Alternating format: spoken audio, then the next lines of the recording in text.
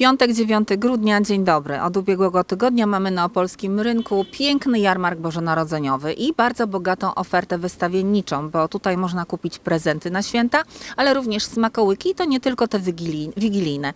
E, Pojawiają się również e, niesamowite rzeczy właśnie do konsumpcji z różnych zakątków świata.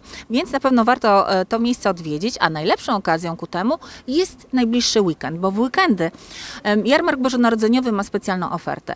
I już od godziny 12 tutaj rozpoczną się warsztaty kulinarne, e, a na nich e, dzieci będą mogły e, robić kutie, potrawę wigilijną z bardzo długą tradycją. O godzinie 13 będzie świąteczna strefa zdrowia, o 16 koncert laureatów 26 Mikołajkowego Festiwalu Piosenki Dziecięcej, a o 18 koncert Katarzyny Pumy Piaseckiej świątecznie. W niedzielę również koncerty i imprezy zaczynają się o godzinie 12 i też rozpoczną się od warsztatów kulinarnych. Później mamy Dzień Niemiecki na Jarmarku Bożonarodzeniowym.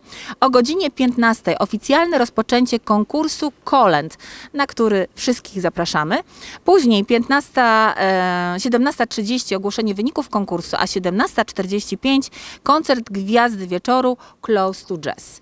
Czy macie już Państwo choinkę? Jeśli nie, to też jest dobra okazja do tego, żeby wybrać się na jarmark bożonarodzeniowy i kupić już świąteczne drzewko. Serdecznie zapraszamy w najbliższy weekend, czyli już od jutra będzie się tutaj działo.